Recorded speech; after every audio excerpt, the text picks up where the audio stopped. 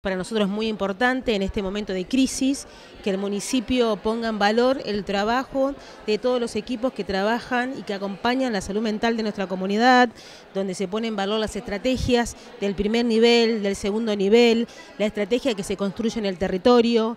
Tengan en cuenta que el municipio y todas las redes acompañan más de 2.000 personas. Hoy cuando en una coyuntura donde se cierra un, hospital de salud mental, nosotros ponemos visibles y acompañamos todas las estrategias que se realizan en la comunidad de Tigre. Para nosotros es muy importante, sobre todo, visibilizar el tema de la salud mental y la verdad que es un orgullo en este Consejo Deliberante, que es un consejo que es de puertas abiertas, recibimos a todos y tratar un tema tan importante como es la salud mental en este contexto después de la, de la pandemia, sabemos eh, las secuelas que dejó todo esto en adolescentes, en adultos